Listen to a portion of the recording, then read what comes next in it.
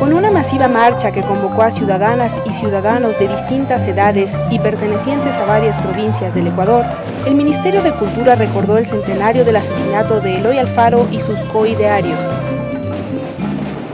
El recorrido que partió desde el ex penal García Moreno y culminó en el Parque Elegido visitó siete hitos por donde el cuerpo del viejo luchador fue arrastrado un 28 de enero de 1912.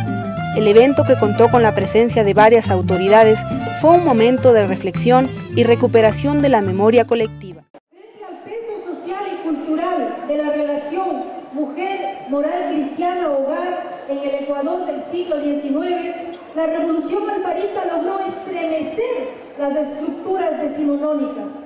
La promoción de la educación de las mujeres orientadas a su inserción en el escenario público se expresó en la creación de los normales femeninos.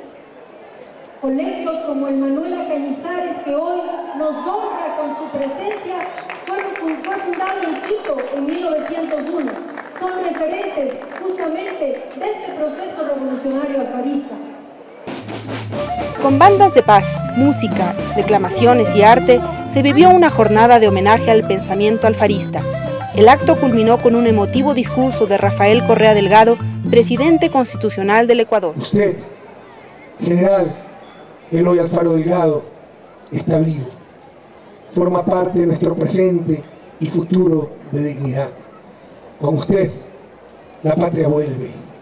Con usted, estamos haciendo esta revolución que nada ni nadie la podrá detener.